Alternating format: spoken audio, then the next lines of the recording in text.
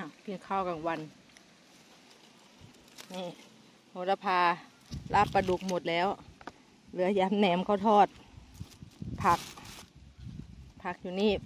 เด็ดกินเลยโหระพาปุ๊บ กินข้าวปุ๊บ เด็ดผักกระต้นกินได้เลยอ้าวข้าวต้ม เนี่ยค่ะ ปลูกผัก แล้วก็นั่งกินข้าวกลางวันมาทำสวนนะคะ ถ้าเกิดมีครบหมดนะ มีสะระแหน่ มีโหระพา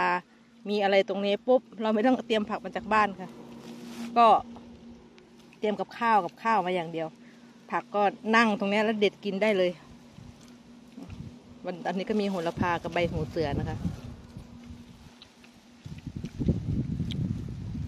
กินหมดแล้วลาบปลาดุกข้าวเหนียว ผักเดี๋ ยวจะเดี๋ยวจะจะกินยำข้าวทอด มีไก่ย่างนะคะ แต่เป็นหนังไก่